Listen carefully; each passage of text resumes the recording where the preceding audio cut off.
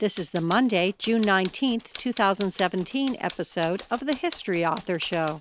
Visit our iHeartRadio channel or subscribe on iTunes to enjoy a brand new episode every Monday morning. Oh, New York ain't New York anymore. How I miss those old pals of mine. The sawdust is gone from the floor where we harmonize sweet Adeline on the east side, west side. Things ain't like before. There are tears in the eyes of the regular guys. Oh, New York ain't New York anymore. Hello and welcome. I'm your host, Dean Karayanis, and this is the History Author Show on iHeartRadio. This week, our time machine joins up with legendary explorers Lewis and Clark and traces the clash of cultures between Europeans and the Native American Nez Perce tribe through William Clark's real life son, Daytime Smoke, whose mother was a Nez Perce woman. Playing our guide on this journey is David Osborne, who shares his ambitious debut novel, The Coming. David has five nonfiction books to his credit, and you've seen his work in The Atlantic, New York Times Magazine, Harper's, and many other places fine opinion writing is found. He's also a senior fellow at the Progressive Policy Institute, directing the Reinventing America's Schools project. You can visit our guest on Twitter at Osborne David. Okay, now that we've provisioned ourselves for the trip, let's hitch up with David Osborne and witness The Coming.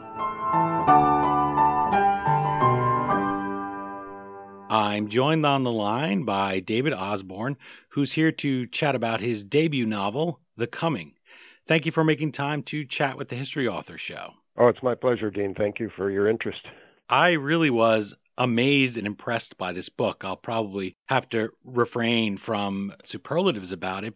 You work in the policy and political arena, so this story must have had something that really compelled you to invest time in it because I'm looking at the calendar and I'm thinking, okay, election year. So that's when a, there'd be a lot of wonkish stuff to write about and for you to do and demands on your attention. I'm sure you wanted to maybe sit and watch the debates or something like that. So, what was it about this story that compelled you to write it at this time? Well, that's a really good question to be honest, I didn't write it at this time. I started this book in 2001 and worked on it part time, you know, in my spare time over a decade. There were a few years I had to do other things, couldn't work on it. Turned it in to the publisher in 2014, and the publisher was quite slow to publish it. So it, took a long time. But why was I so compelled to write it? Because I was. It was. You're absolutely right. It was. Uh, I was just called to do this. And that's a mystery in many ways. I can tell you that when I was 19 years old, I went on a trip on what's called the Nez Perce Trail, which is the battle sites from the 1877 war. And I read a book about the Nez Perce and I read some of the Lewis and Clark journals. So I was familiar with those two stories and I had very vivid memories of Nez Perce country, which is quite beautiful. And then 25 years later, I had finished my third book and was completely burned out. Just, you know, I'd been working way too hard for a dozen years on these three books. I had four young children. Uh, my wife was a obstetrician, busy. Life was too full. I was completely burned out after this third book and felt just felt like doing something completely different was watching Ken Burns' documentary called The West. And I learned in one episode that William Clark had left behind a pregnant Nez Perce woman and had therefore had a Nez Perce son, whether he ever knew it or not, probably didn't. And in the next episode, learned that that son was alive and part of the war in 1877. And I just kind of mentally sat up bolt upright and thought, my God, those are the bookends to an amazing story because I knew something about the Nez Perce story. And, you know, Lewis and Clark and the Chief Joseph's War, those are two of the most iconic tales of the West. So it just grabbed me and I began to explore it. I went out to Oregon to a writers' conference where there were a fair number of Nez Perce attending, and I decided it was completely impractical because I lived in Massachusetts and Nez Perce culture was different than my culture, and so I would need to spend time out there. And how in the world was I going to be able to do that?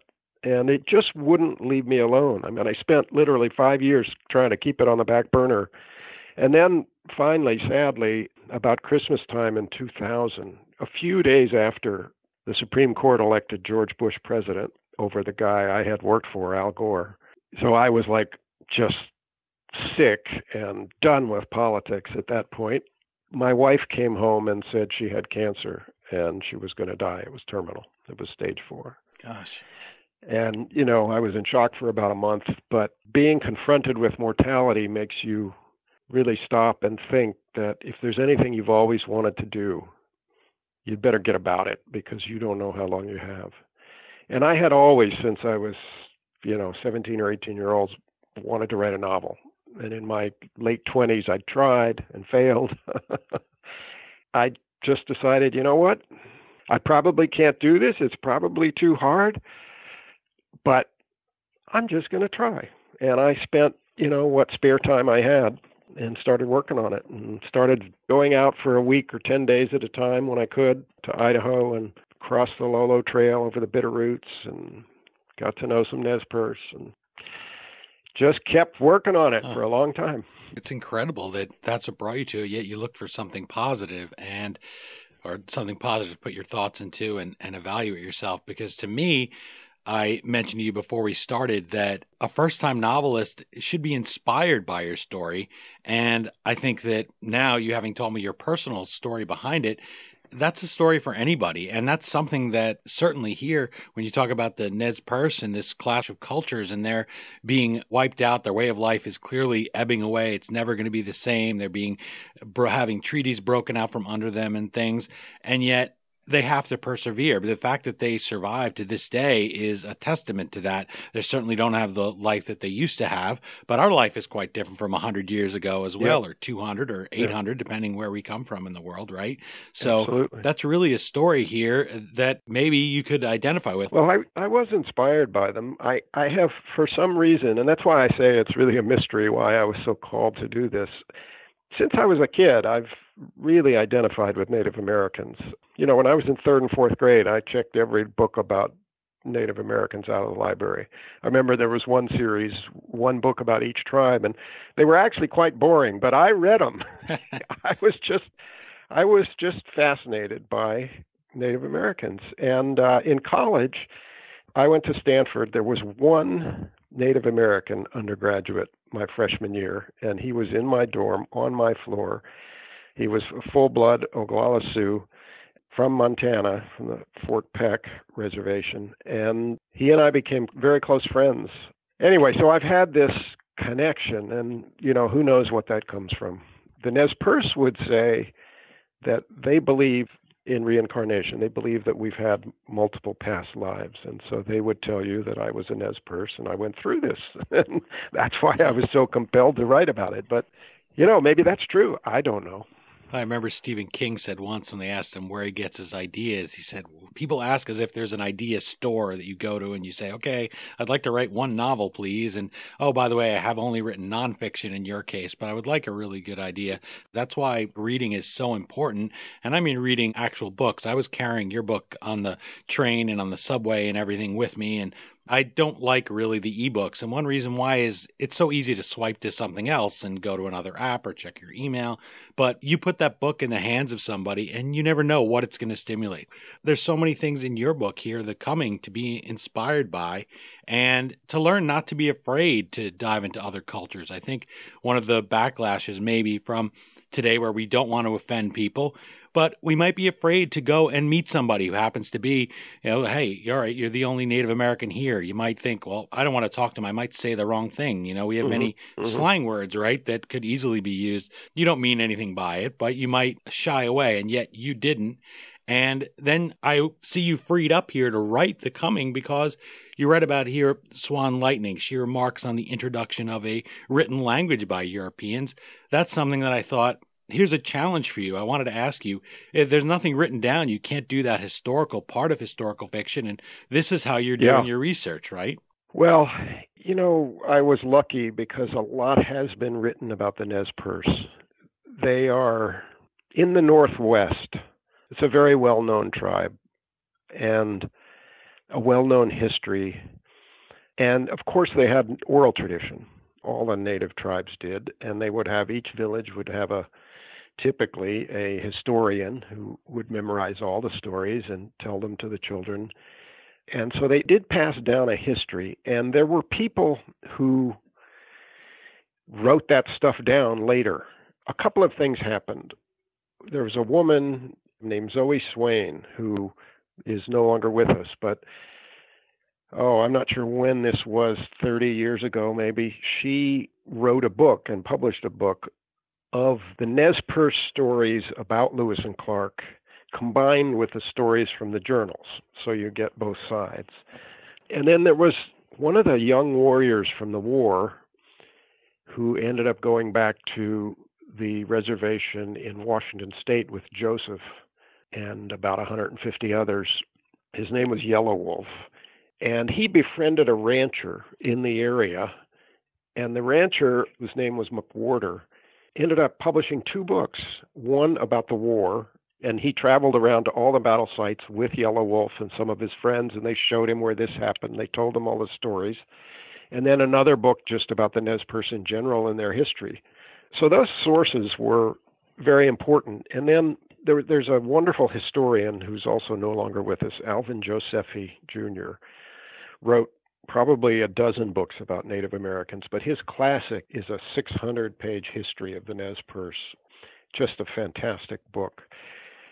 So I was lucky. There was a lot of material, but there was a lot I couldn't access too, like about their spiritual life. So I had to find other routes to figure that stuff out you have something about that, a quote in part two of The Coming. You actually start off part two with it.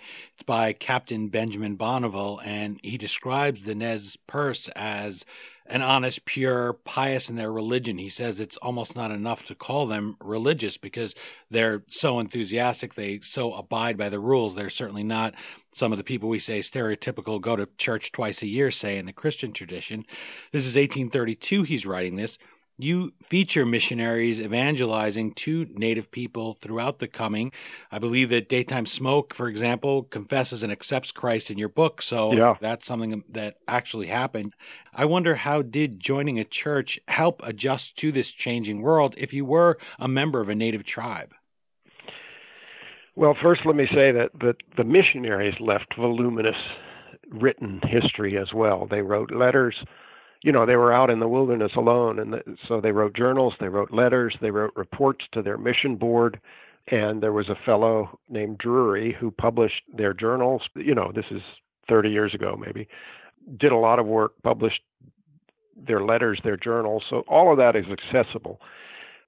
The nez perce let me give you a little of the background of why they wanted missionaries because it's fascinating. In their worldview and this is very typical of Native peoples, power came from spiritual sources.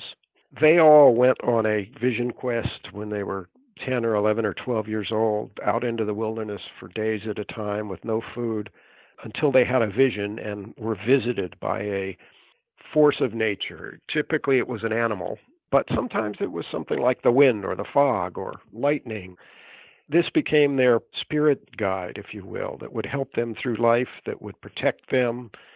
And so, you know, power came from sources like that. So they looked at these white people who had guns and ammunition and later on wagons with wheels and they could make things out of iron and steel and you know they had knives they had all these things that the native people didn't have and so obviously they had a lot of power so the nez perce would ask you know, where does this power come from? And and eventually they'd hear about God and Jesus and the Bible, and they concluded that that was the source of power for these white people, and they wanted it. So they were really desperate at a certain point to get to learn about it. And Nez Perce sent four men to St. Louis, which is like a three month journey, a couple thousand miles, in 1831 to ask William Clark who was still there. All the tribes knew of him because he was in charge of of the Louisiana Territory. They sort of knew him as the red-haired chief. To ask him for Bibles and missionaries, and you know they thought that literally the Bible had power in it. They didn't understand about written words and stories. They thought it was an object that had power. But um, anyway, that led to missionaries arriving. Over time, about half the tribe converted, but it led to a big split in the tribe because there were those who refused to convert and those who converted. So it was a big part of their history. Lewis and Clark, their interactions with the tribesmen when they're using medicines that they have. In your book, they're very clear that hey, no, this isn't that kind of power. This isn't a spiritual thing. It comes from medicine. I can't, I'm not curing everything. It's not in me. Also, this is explaining to the medicine man there who's saying, well, if I can't do it, you can't do it. And, you know, this happens even among fellow doctors, right? The new ways of, for instance, germ therapy are rejected by new people. But Lewis and Clark, they seem to varying degrees to confront that not as you would think a stereotypical way would be that okay hey these are silly children. Oftentimes we picture these explorers talking to the native people like they're just children and don't know anything they're upfront about who they are and i saw them in a way that wasn't just them on the back of a coin or like simon and garfunkel. You think of any duo and you forget that there's a line where one man begins and the other man ends and vice versa. They really seem to be able to strike that balance and the fact that he has a son here in daytime smoke who also has red hair that's that's a legacy too and he continually trades on that on both sides and he'll say that i am the son and so people know his name doesn't always work, doesn't always help him. Sometimes people are really rude to him throughout the course of the book because they don't like if you're a person of mixed race, but they really had a handle for it. And you were able to tap into all of that, I guess, from their diaries.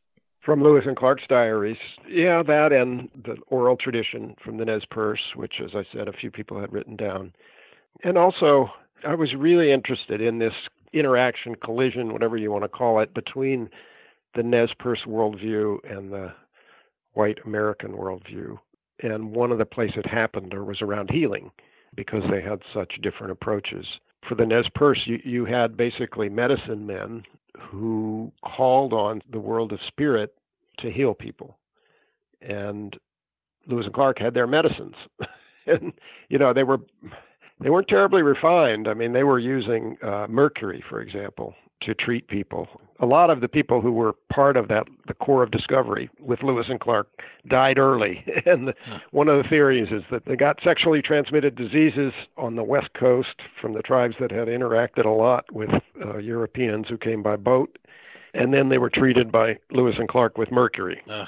which of course is deadly. Yeah.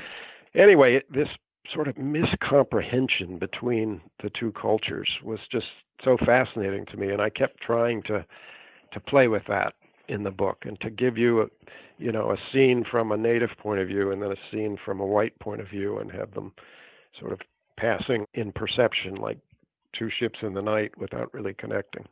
But early on a lot of it was about healing. They decided clark was a very powerful healer because he had a few things that had worked for people, like liniment for a sore muscle. So he did a lot of healing in, exchange for food. Um, and you know, you mentioned Lewis and Clark. They were they were very different people. Lewis was much more the kind of person who would speak to Indians as if they were children. In fact, we have the text of a speech he gave, and I used it in the book, and he called them children. Clark was more of a people person, and he was the one who usually dealt with the Indians and got on with them. And I think he had more of an appreciation for their way of life. That's the impression I got from the journals. Well, it comes across certainly in the coming. I enjoyed that very much because the obvious concern that you would have as a writer and somebody would have picking up the book with Native Americans featured in it is you don't want to be condescending and stereotypical. You don't want it to come across like F Troop where it's farcical. And granted, the Indians here, they don't have the article the, but you don't want to have them speaking in a way that seems right. like, well, that's a, an offensive caricature. It would suck you right out of it authors and people in general can go too far in the other direction and then you drift into the noble savage caricature which is right. no less offensive or unpleasant to read where for instance oh his medicines will fail and then you'll have the magic medicine man come in and it's just as offensive these are people and you manage to describe them in the coming as just that human beings who come from completely different world and they're trying to grope their way through and get to know each other i wonder how in these now you've said uh, about 15 years here to write it how did you guard against swaying too far one into the other? Or because you had this wide experience with the culture were you never really concerned about that? Did you just no i was do it off the top of your head? I was very concerned about that. And you know i was told repeatedly that a lot of nez perce wouldn't like the white person writing about this. Problem is i was writing about a collision between two civilizations. And you know if if a white person can't write about the Nez Perce, does that mean the Nez Perce can't write about whites? Does that mean this story can never be told? Yeah. I just I couldn't accept that. But uh, you know, I appreciate what you're saying about the characters, and to be honest, a lot of it's trial and error. I mean, I made a lot of those errors along the way. I wrote scenes that were too noble savages, that were too naive, that painted too idealistic a picture but fortunately, I had a couple of mentors who would read drafts for me and point out my errors, and I'd throw that out. I probably did 15 drafts of this book, and you just keep honing it and getting rid of the stuff that doesn't work and keeping the stuff that does work. And then at a certain point, you know those characters so well that you stop making those mistakes. And you know, the truth is, there were all kinds of different Nez Perce. There were people who were really egotistical. There were people with some bad intent. There were people who were wonderful. You know, they're human beings like all other human beings. We're speaking with David Osborne about his debut novel. It's called The Coming. You can follow him on Twitter at Osborne David. The Salem News writes of the book, quote, Osborne, who has written nonfiction books, steps into the realm of historical fiction in The Coming in which he weaves a tale of friendship, betrayal, and ultimately war during the time of America's Western expansion. Unquote. David, the word that jumps out at me from that review is betrayal. There are just so many over the course of the coming. You have points where an American governor and soldiers are talking about having another treaty. And the way that they talk about it, it's jumping off the page at me. And it's literally as if it's just a piece of paper. Theodore Roosevelt once described it, for instance, people talking about reform that way. He'd say they talk about it like it's a concrete substance, like cake. And having worked in a campaign and around policy, I'm sure you can think of your own your own uses of the word reform. He says, "Yo, let's have reform. Let's go just hand out pieces to everybody." It's supposed to be you giving your word, and yet talk about no concept of a written language. They'll write these treaties, and the people who supposedly are writing them will just not respect them and blow them off and violate them on a whim. I wonder how you kept those broken words from turning the coming into just a story of those tragic repetitions. Ah, that's a very good question. And my wife and my mentor friend who read a bunch of drafts would tell you that I I made that mistake hmm. for a long time. I, they kept telling me, enough of the treaty councils. because I was so taken with the history, and it is a history of betrayal. The thing that's so fascinating about the Nez Perce story is that they loved Americans because of Lewis and Clark, because they bonded with them, because they actually intermarried, right, with Clark. They loved Americans, and when the fur trappers started arriving, they embraced them and they helped them and they lived with them and they married them and then they went and asked for missionaries, and when they came, they embraced them. And when settlers started to arrive and wars started to erupt because of whites taking native land, taking native horses and cattle, killing natives, and then also mining gold on native land, the Nez Perce would be torn, and they ended up at first helping the U.S. against their friends. So this tribe was the best friend that we had in that part of the country, unbelievably loyal to Americans. And they were first rewarded for it. When the first treaties were written, they got to keep 90% of their land, unlike many of their neighboring tribes. which were dispossessed. But five years later, in 1860, gold was discovered on their land. And, you know, within a few years, there were 20,000 miners and only 5,000 Nez Perce. And the government then negotiated another treaty, which is known as the Thief Treaty, which half of the tribe refused to sign, but the government pretended as if the entire tribe had signed and imposed it on them, which led finally to war. Uh, so it really was an act of betrayal of people who had been so helpful and so loyal to Americans. It's a real tragedy. That's another one of the quotes you have at the beginning of a chapter where they're describing he's saying if I believe it's if I wanted to purchase a horse from you, you say no, I won't sell it to you. And then I go to your neighbor and say, Hey, will you sell me your you know, his horse? And he says, Sure. And then you come back and say, Oh, I own that horse now. Yeah, let me read it to you. Okay, great. This is actually from Chief Joseph. He gave a speech in Washington DC when he was pleading he went to Washington repeatedly and met with secretaries of defense and I think they called them secretaries of war at the time, with congressmen, with presidents, pleading for the right to go back to their land when they were sent to Oklahoma after the war. He said this in a speech Suppose a white man should come to me and say, Joseph, I like your horses. I want to buy them. I say to him, No, my horses suit me. I will not sell them. Then he goes to my neighbor who says, Pay me money and I will sell you Joseph's horses. The white man returns to me and says, Joseph, I have bought your horses and you must let me have them. If we sold our lands to the government, this is the way they bought them. And it's exactly right. Yeah. They're all human beings, as you said there. I was going to interject that when you described some of the Nez Perce think ill of the Sopoyos or the Soyapos. I don't know how they were to pronounce Soyapos, the. Yeah. Okay, yeah, that was pretty good. the uh, slang for whites that they use, and you're describing they. There were some of them that were arrogant. There were some of them that were easily duped. Some of them that chide others and say, "Hey, we don't understand the ways of these foreigners, these new migrants coming through. They'd seen other tribes before, and so any more than we know theirs." And as you were talking, I was going to say almost like they're human beings. Hey, who would have thought that people are the same everywhere, as we used to say? She sees, who is it? Is it Clark when he's bathing in the ocean or in the water out of the lake? And she says, Oh gosh, he showed himself to me naked. And she's saying, Why, why don't they bathe more? That kind of thing. And this is just a different world. At the time, Europeans are thinking that bathing makes you sick. So they weren't bathing like the way that the native people were. So the clash of cultures, but then you say, Who does it break for? And here it's breaking in the example there that Chief Joseph gave, breaking against them. But also, you're saying these native people don't know anything. They don't have a concept of a written language. And yet you turn around and you're going to hold them to somebody signing a contract and define that signature and what the contract means for everybody based on what suits you.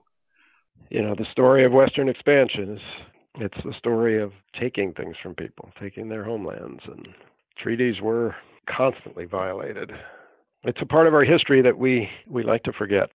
You quote William Clark at one point as supporting one of these relocations. Specifically, he wants to see the tribes relocated across the Mississippi. This would be west of the Mississippi, so yep. out of the way, so to speak. So they're, the, they'll be a little protected, and the white people will have their own land. But he laments that President Andrew Jackson, as you describe it, quote, hated Indians too much to let them leave with dignity, let them leave their ancestral lands in this case. Were those Clark's actual feelings on what would become something like the Trail of Tears? That's a very good question.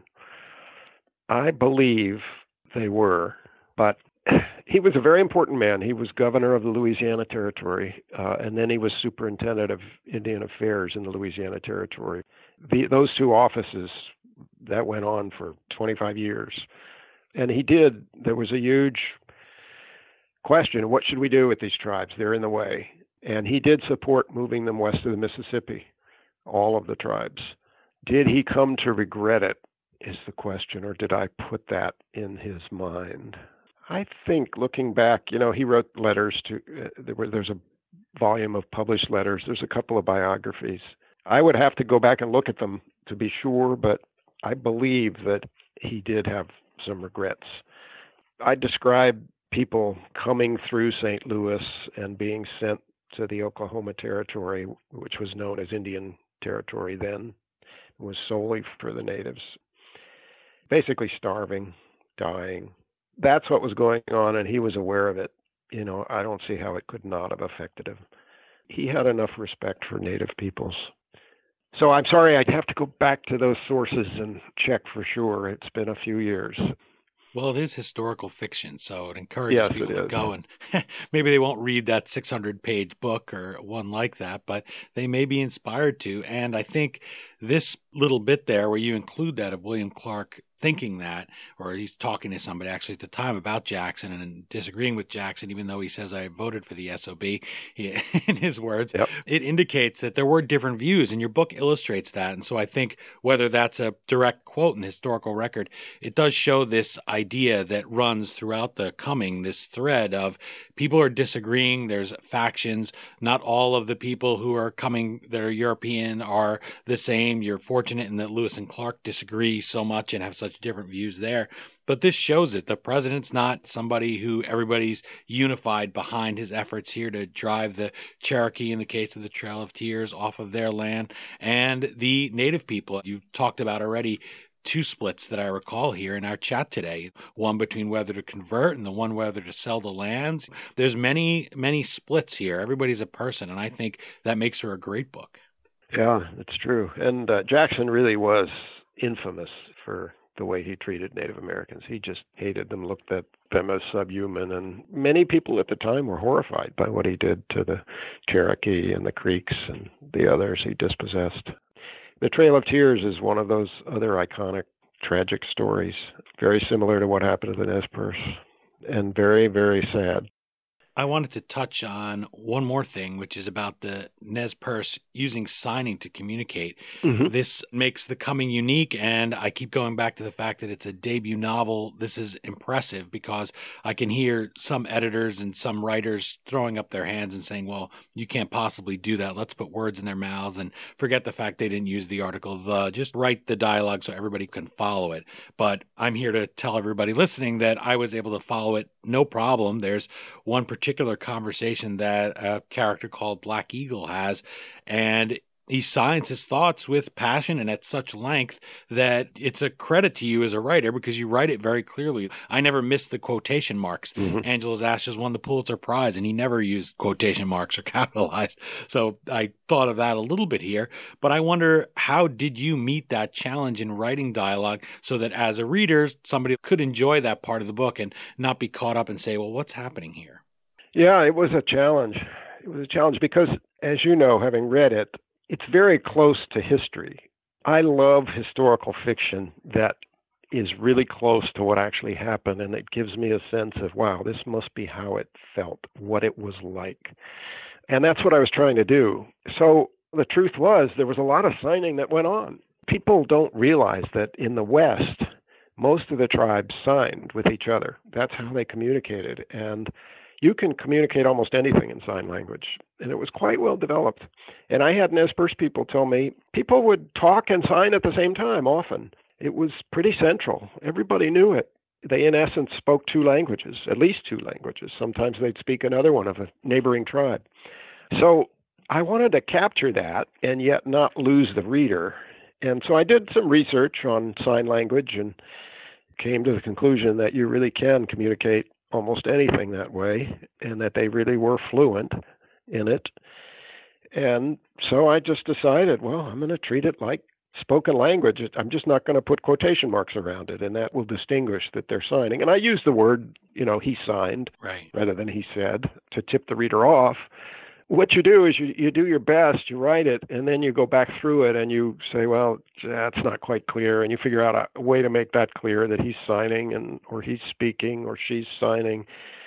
You just polish it until you've got the ambiguities out and it's clear to the reader. You know, people think that writers write these first drafts that are just luminous and wonderful. Well, it's not the case for most of us. I always love Calvin Trillin, who was the famous writer for The New Yorker for years and later The Nation. He wrote an article, I think, about writing at one point, and he described his first drafts as his vomit outs. and I always thought that was great because I would never show a first draft to anyone. I mean, they're always bad. Yeah. Uh, I would never show anything less than a third draft to anyone else, even a co-author. I've written books with people, and Yeah. I don't show them anything before a third draft because you know, you just get something out and then you rework it and you rework it and you rework it. And it's kind of like chipping a statue out of a block of granite. You know, you just get closer and closer and closer to the vision you have in your mind. And, you know, I think that's how I did the language. I just kept working at it to make it clear, but also make it realistic it's almost like a house. My wife and I moved last year and got a new house, and we are doing renovations. And you're not going to invite everybody over the first week, maybe, or the first month when you still have things in boxes and you haven't painted over the walls or put in any of your stuff, and everything's a mess. And, so it's kind of like what it makes me think here with the Coming. Yeah. yeah. I bet if I read the first one, I wouldn't be so effusive in my praise, uh, just as it should be. no, you'd be laughing at me. I have a page of advice for you because I want to read this story. I'm sure from the beginning I would have said that even from a first draft. But back to one thing this idea of people maybe saying to you, you shouldn't be writing this because you're not a member of the Nez Perce tribe. It's something I talked about with Laurie Halse Anderson when we talk about her Seeds of America trilogy, because it's something she takes very seriously. She's writing about slave children in that case. She tells people you should be able to write about it and read about it. And I do treat it with the utmost respect, and I hope people will understand that. And what I'd said back to her was if we go down that road of saying, well, David Osborne should only be writing about the Osbornes and I should only be writing about Greek people, then the next logical step is well, why should we pick up a book like The Coming? Because I don't care about the Nez Perce experience or the Western expansion. That's not my experience.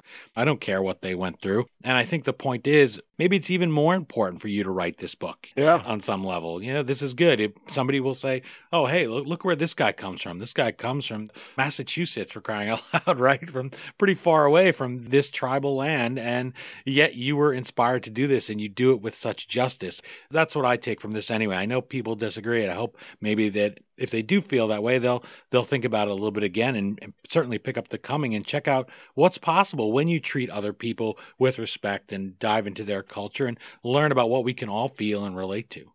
Yeah, well, thank you for saying that. I I did this out of total respect for the Nez Perce. I dedicated the book to them. All I can do is hope that they will receive it in that way and feel that it adds some value. But you know, my main audience is white, and whites have, are so fascinated with Lewis and Clark for good reason. It's it's just an incredible story, mm. and I got fascinated with it. But it's a wonderful way to kind of pull people in to then read about Native people. And the magic of fiction is that you don't just have an intellectual experience when you're reading fiction you disappear into the story and you have an emotional experience. You experience the events emotionally. And so this was a way to draw white readers in with with a story that they're fascinated by, Lewis and Clark, and then let them experience what happened to native peoples on this continent. That was really my intention. It's gratifying that you know, as people read it, that's what they tell me that it's emotional and they they really feel like they get it. That's very pleasing to hear. That's something I wanted to ask you here as my final question for you to expand on, and that's how historical fiction in particular can encourage people to learn more, but it's also entertaining us as well. I always say when I think about historical fiction, which I just love, I say it's sort of a little bit of a sweetener because you can dramatize it and somebody may not stop and read that 600 page book, but a talented author like yourself or someone who's interested can read that and get out the parts that you say, wow, I love that little bit of history there. And then hopefully make it interesting for the readers in a fictional context. Oh, yeah. With those twin goals in mind or those twin opportunities there for your book, I wonder what you hope readers will do after they finish that last page of The Coming. What do you want them to take with them in their own spirit, their own life, when they go out and live after that? I think what I, you know, when you write a book like this, you, you want people to just experience it you don't go thinking about the moral of the story as much as you think about the story.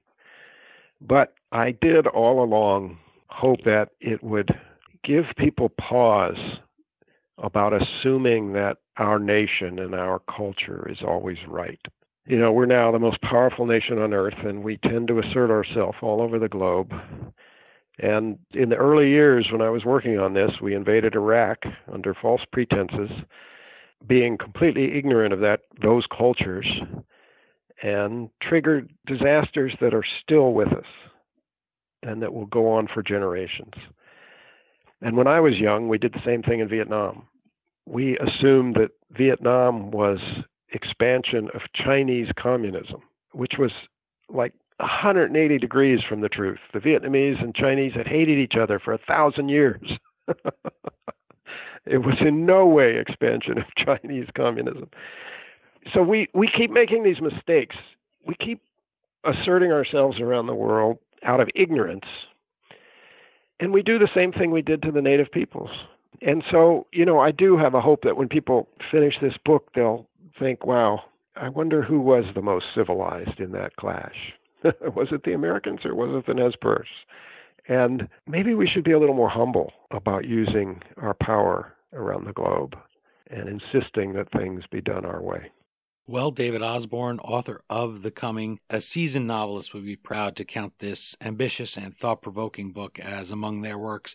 I hope you'll take your talents into the fictional realm again soon. I will certainly read that book. I am glad you stuck through those 15 drafts, so I'll look forward to that next book. But until then, I wish you all the best with this book. Oh, well, thank you so much. Really appreciate it. This has been a real pleasure. Again, the book is called The Coming. As always, you can find the Amazon link to purchase your copy at historyauthor.com. And we hope you will click through there, or even navigate through the Amazon banner on our homepage the next time you purchase anything from Amazon. You go to historyauthor.com, we take it Amazon, and Amazon.com gives us a small portion of every dollar you spend at no additional charge in your shopping cart for just a few extra clicks. You can help us keep the flux capacitor on our time machine humming like usual. I really want to sincerely thank David Osborne for joining me and for taking all of us inside this long, slow destruction of the Native American way of life. Remember to follow him on Twitter at Osborne David and let us know what you think of the book and the interview on Twitter at History Dean or Facebook.com slash history author. That's it for this installment of the History Author Show. I hope you'll join us for next Monday's all new interview right here on iHeartRadio. And if you're an iTunes subscriber, please take a minute to leave us a review. Well, until our next trip into the past together, thanks so much for time traveling with us today and have a great week. We still call it Broadway, but what's in a name? Take it from Georgie, it isn't the same. On the east side, west side, things ain't like before. There are tears in the eyes of the regular guys. Oh, New York ain't New York anymore.